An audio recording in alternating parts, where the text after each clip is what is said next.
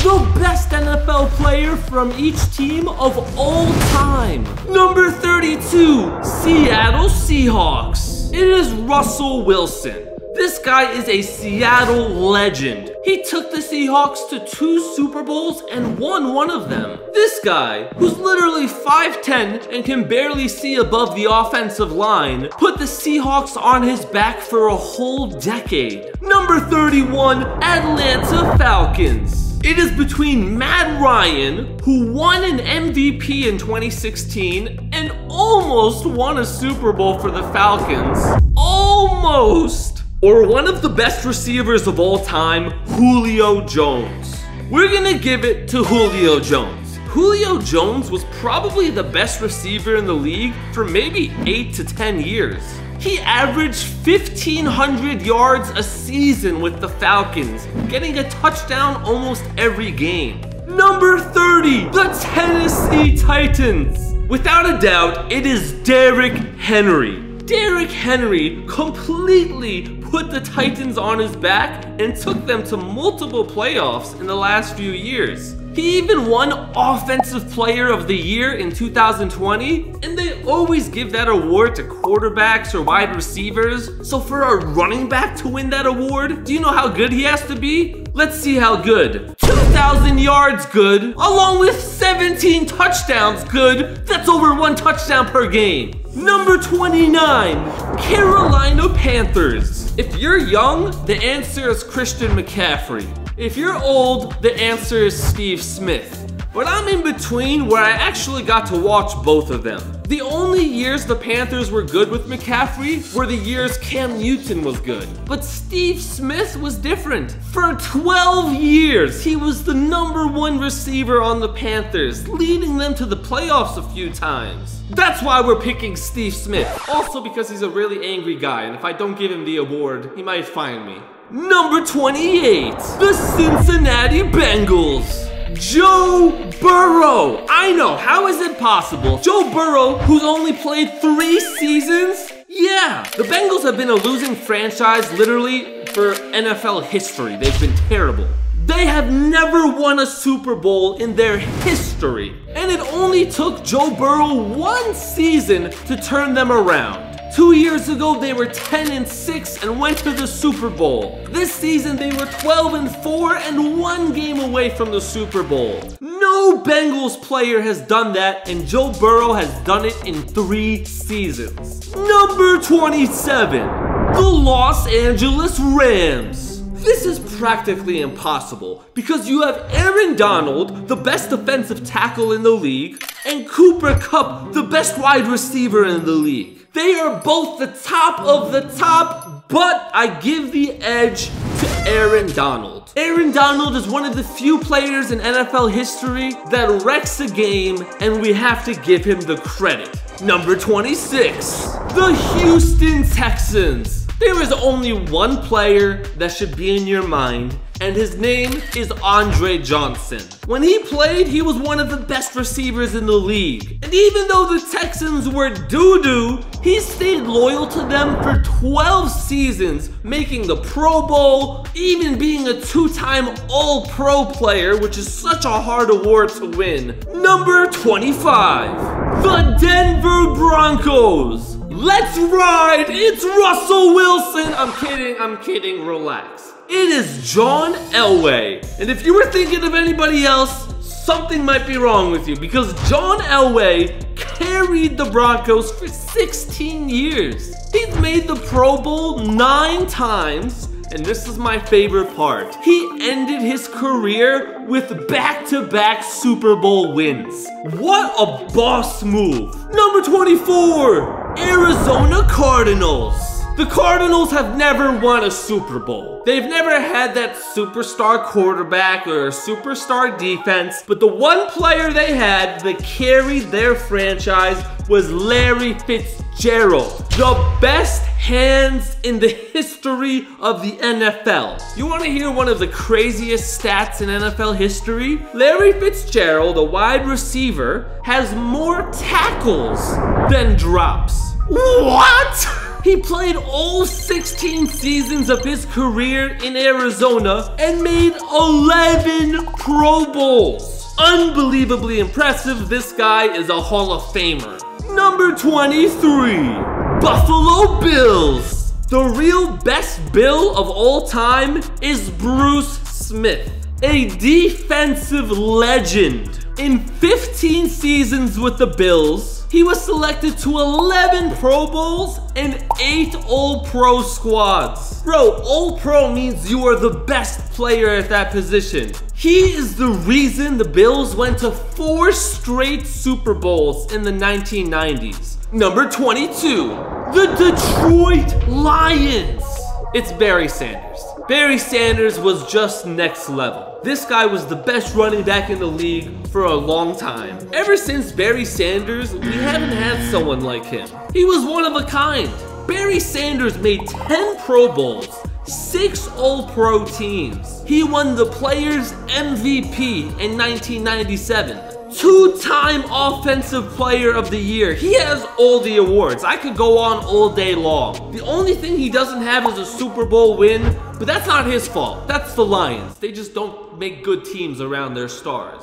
Number 21, the Kansas City Chiefs. You might think it's too soon. I don't think so. It is Patrick Mahomes. Five seasons, five Pro Bowls, two Super Bowls, two Super Bowl MVPs, two-time NFL MVP. He's thrown for 5,000 yards two times already. Patrick Mahomes is the Kansas City Chiefs. He is their best player, and that's not an easy award to win. And I don't even like the Chiefs personally. But you have to be honest, Patrick Mahomes is just next level. Number 20, the Los Angeles Chargers.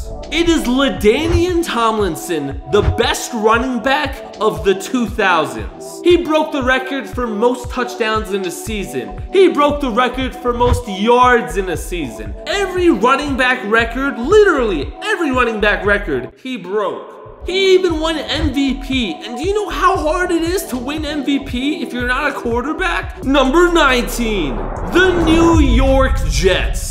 The Jets have been a bad team for a long time. The only player in Jets history to win a Super Bowl for them was Joe Namath. Now this is way back in the day because this was literally Super Bowl 3. But it wasn't just one season. He was a five-time Pro Bowler. And now he's a Hall of Famer. To win the only Super Bowl in franchise history, you gotta give the credit to him. Number 18, the Pittsburgh Steelers. Ben Roethlisberger or Troy Polamalu. They both won two Super Bowls. One of them carried the offense. The other one carried the defense. The best player is neither of them because the best Steeler of all time is Mean Joe Greene. Four Super Bowl wins. The coolest nickname in NFL history. Mean Joe Greene was on a different level from these other Steelers. He didn't have one bad season,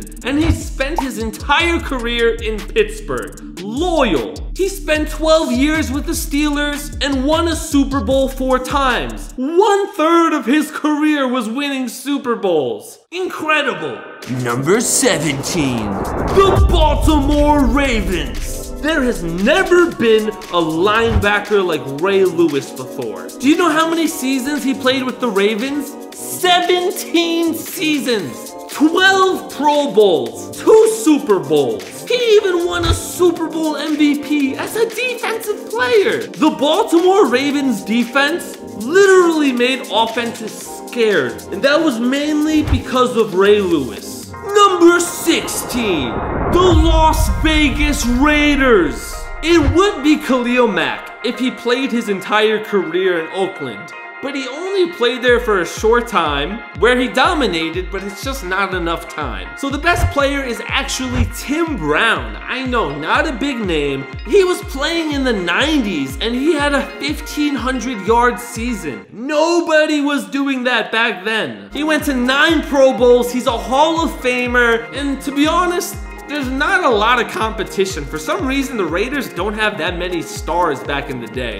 Number 15, the Cleveland Browns. Jim Brown was a running back for the Browns in the 50s. Is he the reason they're called the Browns? No, I just saved you some time. But he might as well be, because in only nine seasons, he has the most rushing yards in franchise history. He only played nine seasons. How is that possible? Because this guy averaged 120 yards a game. He even had one season where he averaged 130 yards a game. He averaged 5.2 yards per carry and he averaged one touchdown every single game. And in his nine seasons, he won three MVPs. If this happened today, everyone would be losing their minds about Jim Brown. It's just because it happened 60 years ago, that's why people don't talk about it. But it's utterly insane. Number 14, the Dallas Cowboys. One of the most prestigious franchises so many superstars. It comes down to two players for me. Deion Sanders and Terrell Owens. Terrell Owens was more loyal, he played more years for the Cowboys, but I'm sorry, Deion Sanders, prime time, he dominated. Best cornerback in the league, arguably the best cornerback in NFL history. Not to mention, he won a Super Bowl with the Cowboys, and he was a huge reason they won. Number 13, the Green Bay Packers. Another prestigious franchise with so many options. But it is Aaron. What quarterback has been with the same team for 18 seasons? And 18 great seasons. Before this season, where they went 8 to 9, Aaron Rodgers had 15 seasons in a row with a winning record.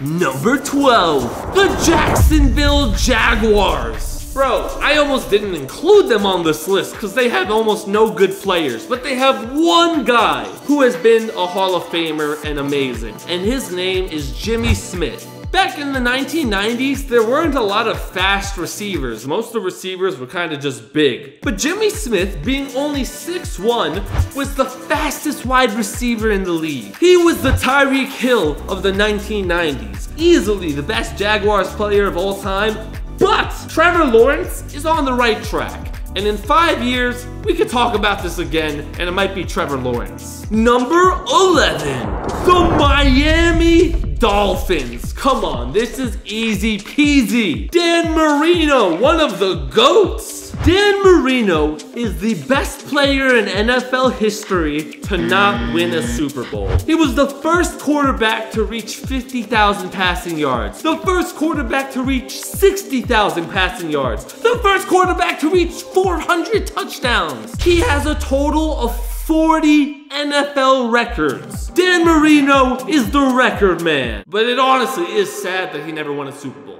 Number 10, the Washington Commanders. Joe Theismann the best quarterback they've ever had, and the best player they've ever had. He was an NFL MVP, and he won a Super Bowl for Washington. They've only had three Super Bowls in their history, and Joe Theismann was the reason for one of them. Number nine, the Minnesota Vikings. This is Juicy! Justin Jefferson just broke Randy Moss's single season record for most receiving yards. But obviously, it's way too early to give it to Justin Jefferson. So it is Randy Moss, who, I mean, he wasn't too bad either. And Randy Moss dominated his entire career. Number eight, the New Orleans Saints. Can you guess it? Come on, he's gotta be in your mind. It's Drew Brees. Drew Brees broke every record, not just for the Saints, but literally for all NFL quarterbacks. He had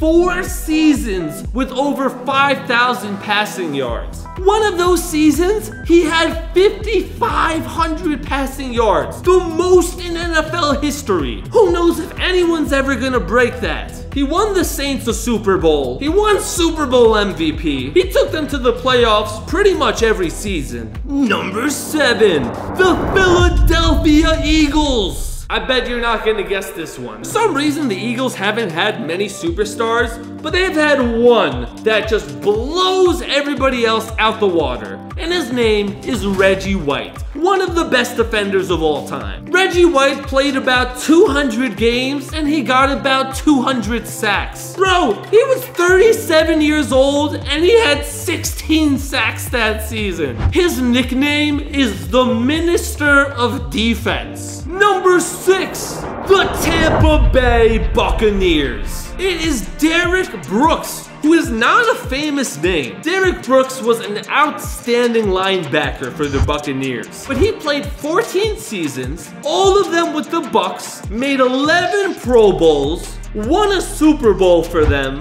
won a Defensive Player of the Year as a linebacker, and is a Hall of Famer. Number five, the New York Giants. It is Lawrence Taylor, the best defensive player in NFL history. He won MVP. He won two Super Bowls for the Giants. A three-time Defensive Player of the Year. To this day, we have not seen a defensive player as good as Lawrence Taylor. I don't think any player is going to be better than Lawrence Taylor on the Giants for a very long time. Numero four, the Chicago Bears the best running back in NFL history, Walter Payton. Walter Payton has the record for most yards per game in a season, 133 yards per game in 1977. How is that possible? Walter Payton led the Chicago Bears to their only Super Bowl win in their history.